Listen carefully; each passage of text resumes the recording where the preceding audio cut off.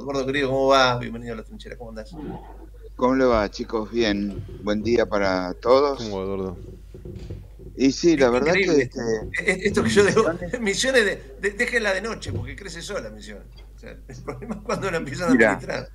Misiones por distintas razones, me es cara mis afectos, tengo muchos amigos, voy y fui muy seguido durante años, disfruté la cervecita en la costanera, Donde todo el mundo está contento, sale, disfruta.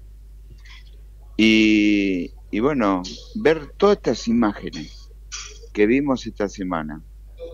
Y el contacto, obviamente, yo con todos los días hablaba con algún amigo y me contaban lo que iba sucediendo o lo que podía llegar a suceder. Y me dio una tristeza profunda, porque era crónica de una muerte anunciada. ¿Por qué? Porque ahí hay un emperador que se llama Rovira, y Rovira maneja absolutamente todo, absolutamente todo. Maneja quién va a ser candidato, quién no, a quién le da oxígeno, a quién se puede robar del radicalismo, como pasó con Maurice Clos y varios. Este, ¿Por qué? Porque en definitiva está atornillado al poder en la provincia de Misiones. Entonces, una provincia donde tiene mucho personal público, y yo he ido a cubrir elecciones ahí, y vos ves que la noche anterior, y lo tengo grabado, empiezan a desfilar los camiones con colchones, chapas, lo que se te ocurra, y las estaciones de servicio IPF, que son propietarias del grupo de amigos de, de la provincia, están con colas hasta las 3, 4 de la mañana cargando gasoil o nafta, los remises para el otro día llevar a la a, a- a votar. Bueno, tienen toda una, una aparatología para perpetuarse en el poder que los hace hasta ahora incorruptibles aparente, aparentemente, no más que incorruptibles, no, indestructibles. Hoy ha cambiado el mundo con la era digital y la gente se empezó a dar cuenta de otras cosas. La gente empezó a darse cuenta que lo que dice mi ley se repite y, y muchísimo en la provincia de Misiones. Y Misiones tiene otro gran problema, que es, como vos bien decís, tiene muchísima eh, productividad que no está aprovechada, porque en definitiva no, no pueden invertir las empresas ahí porque tienen un ingreso bruto que es absolutamente desfasado. Si vos alguna vez hiciste un trabajo en misiones y lo facturaste, Gustavo, y ese te van a descontar en tu banco permanentemente cuando te entre un ingreso de dinero, aunque sea que te pague Canal 13 o la radio. Entonces, es abusivo porque en definitiva, vos no vivís en misiones, hiciste una sola factura y, y estás pagándole permanentemente. A mí me sucedió, hice una factura allá por un trabajo, tuve que hacer un trámite, me tuve que ir a misiones a que me devuelvan todo lo que me habían sacado. Tuve que hacer un trámite, quedarme dos días. Bueno, para que me puedan devolver el dinero. Es, es vergonzoso. Pues es que a, mí eh, a- a- algún día me gustaría sacar al aire a, a- a mi tío, ingeniero agrónomo. Él, él había presentado un proyecto hace unos años. Vos fíjate, digo, para, para dar dimensión de, de qué provincia estamos hablando. Em, él, él planteaba que solamente con la parte forestal bien manejada, bien administrada, se pagaba la deuda externa. Mira, Es lo que te digo, en misiones. o sea, vos- por eso digo, vos fíjate a dónde ha llegado la clase dirigente de chocar, ¿no? de hundir Titanics, no uno. O sea, permanentemente hacen todo lo posible por hundir lo que funciona.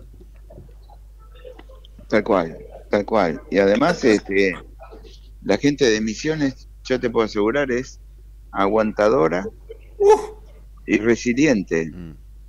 Para que, para haber visto las manifestaciones que vimos, es que la gente se pudrió. sí, claro. La gente se pudrió porque hay, hay, barrios muy humildes que los recorrí casi todos y recorrí El Dorado, recorrí toda la de, de punta a punta lo tengo recorrido en Misiones. Y este y ves lugares muy muy humildes, pero con voluntad de crecer, dice, yo necesito una oportunidad.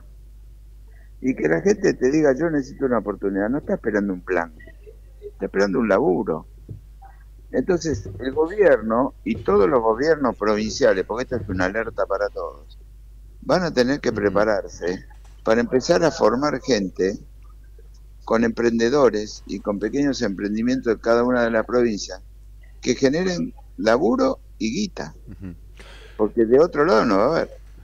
Eduardo, eh, Raúl de este lado, ¿cómo te va? ¿Qué haces, Raúl? Bien, bien. Vos sabés que te, escuchaba y podíamos sacar la palabra misiones y ponemos otra, no voy a decir, pero cualquier provincia y creo que estaríamos hablando de lo mismo, ¿no? Está lleno de emperadores nuestra Argentina que de alguna manera hacen que la democracia sea menos democrática, justamente, ¿no? Y digo, mm. vos que estás bien metido en misiones, yo leí la nota más que interesante también. Eh, a ver, ¿Es definitivo un tema definitivamente un tema provincial o es la antesala de algo mayor en lo que el Estado debería de alguna manera intervenir? Y utilizo ese término y ese verbo, ¿no? Intervenir. ¿Vos qué, qué pensás? Mira, yo creo que, a ver, mi concepto de Estado es que el Estado debe ser regulador y rector. El Estado no el Estado debe auxiliar en caso de extrema urgencia y de crisis. Ahora, me parece que hay una responsabilidad de los gobiernos locales. Los gobiernos locales estaban acostumbrados que le decía, y mira, yo te voto esa ley, hacemos DNU y dame tanta guita. Eso lo vivimos todos y lo sabemos todos. Esto no va a suceder ahora, en, el, en este momento. Entonces, las provincias que yo he estado visitando en este tiempo, están todos sin presupuestos, achicando todos los presupuestos que se puedan, porque saben que viene eh, este ajuste. Los que no lo ven van a quedar girando. Entonces vamos a ver cómo se arregla La Rioja, cómo se arregla Catamarca, cómo se arregla Tierra del Fuego. Porque todas esas provincias que estoy nombrando, Santiago del Estero, y no me acuerdo cuál, en el último ranking este, que vi ayer, tiene una gran desocupación y, una, y una gran pérdida de trabajo. Entonces, ellos van a tener que suplirlo de alguna forma. Eduardo, em, te saco un poquito de tema, por un lado, para, para que puedas toser tranquilo. pobrecito. Sí, me tenía atorado, me tenía atorado. Tranquilo, tranquilo. Y, por otro lado, porque necesito también tu mirada sobre, eh, quien está en el gobierno ahora, ¿no? El, presidente, lo, que dijo en el, acto de Córdoba, el acto de Córdoba en sí. ¿Cómo, cómo observaste lo que pasó el 25 de mayo?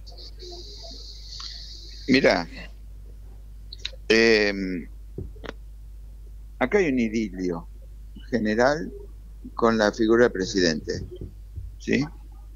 Em, en general vos hablas con todo el mundo y todo el mundo dice, esto es lo que hay que hacer este tipo tuvo los, los que hay que tener para hacer un, cambio y la gente lo apoya. ¿sí? Número más, número menos, la misma gente que lo votó lo estaría apoyando. ¿sí? En Córdoba pasa algo eh, similar, porque en definitiva Córdoba, que no es K, eso te lo puedo asegurar, en ningún lado vas a ver alguna persona que tenga alguna simpatía con los Kirchner o, la Cámpora o todo esa, ese movimiento, es al revés. Allá son peronistas, este, cordobesistas del grupo de Schiaretti o radicales, o del PRO en este caso. Entonces, esa gente va a apoyar, pero sabes que necesita desarrollo.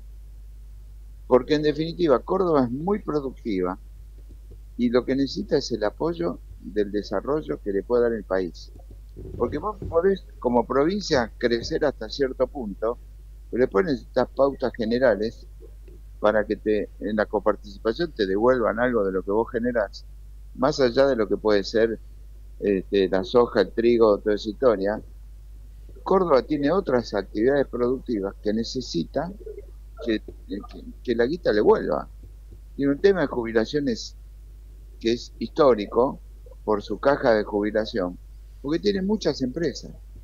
Entonces, el fenómeno Milei viene a irrumpir en Córdoba en un momento donde este, la gente sigue queriendo un cambio, hoy el cambio es mi ley. No sé si mi ley con mayúscula o minúscula, creo que esto ya lo hablamos, pero la gente compró un cambio. Mañana puede ser otro personaje, pero la gente ya para atrás no quiere volver. Y eso le da, eh, Eduardo, de alguna manera, eh, puede ser una puerta de entrada. Vos hablabas recién del peronismo cordobés eh, y de alguna manera tal vez allí empiece a nacer el nuevo peronismo, ¿no? Porque uno se pone, hoy miramos con Gustavo y, una encuesta, no recuerdo qué, qué, empresa, y opina Opinaya. Opinaya que era y planteaba que el 45% de la gente dice que claramente no hay figura opositora. Y, es una lástima que no haya una contracara de alguna cuestión para mejorar las cosas, ¿no? para debatirlas desde el mejor sentido, desde el mejor lugar. ¿Vos crees que eh, allí en Córdoba pueden hacer ese, ese peronismo que de alguna manera termine por, ojalá digo, esto es una opinión personal, termine por dejar de confundirnos ese kirchnerismo con el peronismo que que pudo haber sido? Mira, eh, a Martín Yayara lo conozco bien, es un gran gestor, es un, una buena persona y con buenas intenciones de gobernar.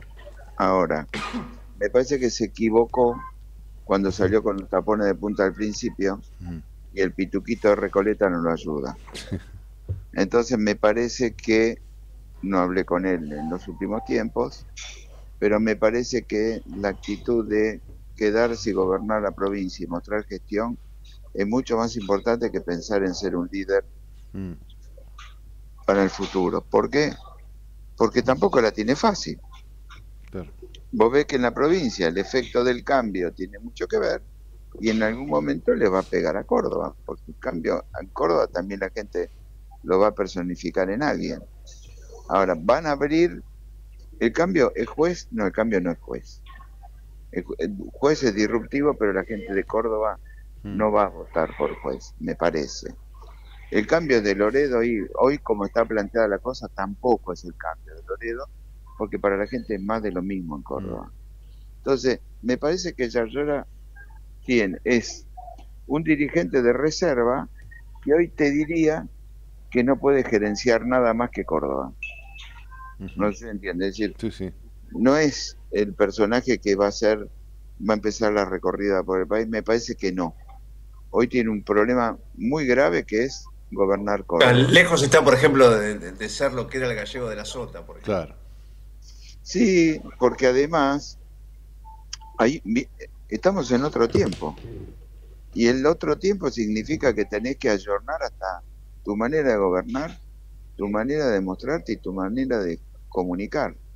Y Córdoba todavía eso no lo ha hecho. Entonces Córdoba tiene que hacer un cambio, en lo personal creo, como gobierno, demostrar que está ayornado y, y, lo que tiene que seguir luchando es por el desarrollo de la minería, por el desarrollo de, de la producción, que tiene muchísimas empresas de primera línea, y, este, y afianzarse como provincia este, importante del país. No te olvides que en el país tenemos Buenos Aires, provincia de Buenos Aires, Santa Fe y Córdoba. Son las cuatro provincias Que, que, son productivas a full.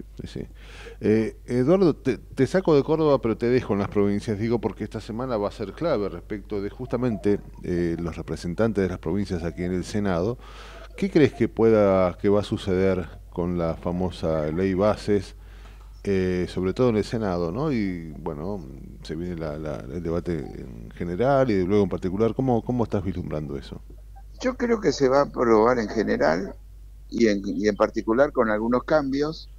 más de, vos te vas a sorprender más de alguna gobernación peronista que lo van a votar. Mm. Tucumán, por ejemplo, hay varias mm. que podrían llegar a votarlo. Y este y yo creo que va a salir en general con algunas reformas que ya están negociando de coparticipación y de baja de impuestos, qué sé yo, y rápido va a pasar por diputados y van a tener su primera ley a los siete meses de haber empezado el gobierno, ¿no? Mm. Que eso es un tema también para tener en cuenta.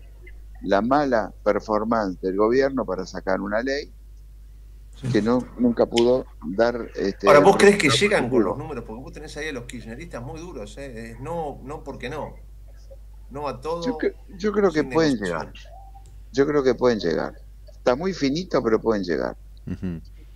Porque es paradójico, ¿no? Porque eh, digo, es paradójico, Eduardo, ¿no? Porque para que salga van a tener que negociar, por poner un ejemplo, con gente similar a Rovira, justamente, ¿no? Y a sus este, senadores. Eh, digo, la, casta. Eh, volvemos a estar en manos de la casta en ese sentido, ¿no? Bueno, pero es un paso normal y la... A ver, lo que, lo que, mi, lo que mi ley no entiende es que consensuar no es apañar a la casta es empezar a, construir un camino que tiene que empezar a construir él, porque hoy no tiene gente. Él está esperando diciembre año que viene. Pero no podemos esperar hasta diciembre año que viene para que el gobierno nos dé señales de que ahora tiene una, una, una legislatura poderosa. Entonces. Y ni siquiera, Eduardo, porque, eh, digamos, porque tiene no va a llegar tampoco. Que le fuera fantástico el 60% de los votos, tampoco cambia una parte, tampoco tendría mayoría. Tal cual. Que le fuera fantástico. Pero bueno, fuera, pero tendría más, eh, te podría negociar mucho mejor. Y ahí después ya nos metemos en otro tema, que ahora lo quiero tocar, es el de Macri. Pero quiero decirte, con Rovira tenía todo arreglado. Fue Francos, hace un mes atrás, se sentó con Rovira y arreglaron absolutamente todos los votos. Yo no sé cómo vendrán hoy, después de este conflicto, pero imagino que a partir de este conflicto lo van a tener que apoyar porque si no se van a quedar absolutamente sin guita. Entonces me parece que como, como, como Misiones, como Tucumán, como varias provincias, van a empezar a, yo creo que con las patagónicas van a arreglar, este, y creo que van a arreglar y van a hacer el número, en general. Muy bien. Me decías que tenías ahí algo para decir de, Macri. Claro, ¿qué va a jugar Macri? Esta es la gran incógnita que tenemos hoy, ¿no? Mm. Porque como no hay opositores, tenemos un medio opositor con Macri. ¿A qué está jugando Macri? Con el silencio que está teniendo. Macri supuestamente viene a reformular el PRO. ¿Cómo va a reformular el PRO? Con Patricia no, porque ya hay una ruptura total. Patricia va a jugar incondicionalmente con el gobierno. Patricia no tiene el poder que tiene el PRO. Patricia fue presidenta del PRO, pero no tiene eh, el poder de arrastrar sí, Tal Mauricio Macri, tiene el poder. Entonces, es importante a qué va a jugar. Macri, todo el mundo dice, esperemos que pase mayo. Inclusive todos esperaban por el pacto porque en definitiva todos esperaban que la ley se apruebe ahora pero Macri va a hacer alguna jugada después que se apruebe esta ley. Y vamos a ver de qué lado juega y cómo juega. Por el momento va a apoyar a mi ley porque no le queda nada, no le queda otra, a ninguno. Porque mi ley es el que está marcando la agenda. Y van a empezar a diferenciarse de a poco, en algunos casos, a ver si pueden ir logrando algún líder opositor que le pueda discutir algo a mi ley. Hoy por hoy no hay. Entonces el radicalismo Eduardo, querido. igual. Claro, claro. Sí, sí, sí. sí, sí. Cerré esa idea que estabas cerrando. No, porque el radicalismo está en crisis también. Después de esto, claro, claro, claro. No, Lustó creo que no va a seguir como presidente del partido responsable porque no tiene ascendencia con las provincias que gobierna el radicalismo. Claro. Todo un tema lo que Eduardo, eh, gracias por esta charla, como siempre interesantísima. A ustedes un abrazo grande. ¿eh? Abrazo grande. Gracias, Las 11 de la mañana y un minuto. Las noticias con Matías Urtac. Qué, complejo, por Dios. Qué complejo todo. Qué, qué, difícil, ¿no? Qué difícil. ¿Cuánto queda para, para la reflexión?